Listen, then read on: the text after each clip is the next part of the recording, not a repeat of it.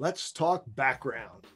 One of the most common questions I get about virtual presenting is Michael, what type of background or backdrop should I use? Do I use the virtual background on Zoom? Uh, should I show my office? Do I do a plain backdrop like you've got? Well, there's no right or wrong answer to this question. It is personal preference. I will start by saying I do not like the new virtual backgrounds that people have been using. When they first came out, they were cool, they were novel, but here's what I don't like.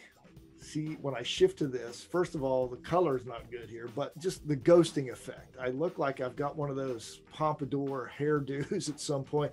Body disappears at points. I just don't think it looks professional. So, for that reason, I'm not a big fan. I don't use them.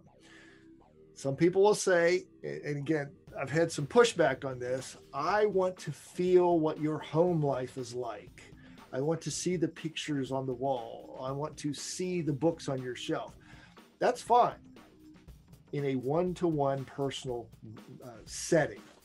From a business standpoint, I think number one, we have to be professional. But number two, remember, people are highly distractible today when you've got books on your shelf, you've got pictures on your wall, I promise you, some people in that audience are doing this.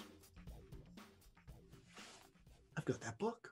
I know I've got that book. That, oh, that's really good. I wonder what she thinks about that. I would.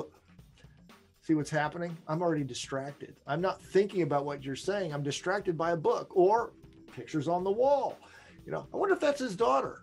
You know, he mentioned his wife. She's younger looking than him. I wonder what that's about. all these thoughts can be running through people's head. Make sure that you're eliminating the distractions.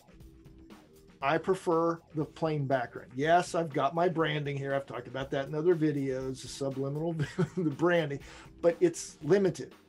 You know that I'm a coach. You know that I'm a speaking CPR. That's all you need. And everything else should be me, the presenter, giving you insights and stories and, and experiences on a specific topic.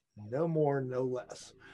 So choose your background that fits your personality, but just keep in mind what your audience is going through. All the distractions. You do not want them thinking 58 other thoughts when you're trying to make one point.